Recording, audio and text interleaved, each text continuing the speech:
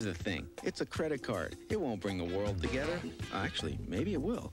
I mean, MasterCard is an official sponsor of the 1994 World Cup. So soccer fans from all over will be coming to America to cheer and eat too many jumbo dogs. And since no card on the planet is more useful, they can all use their MasterCards for hotels and car rentals and silly hats. And nothing brings people together like silly hats. So I guess MasterCard will bring the world together.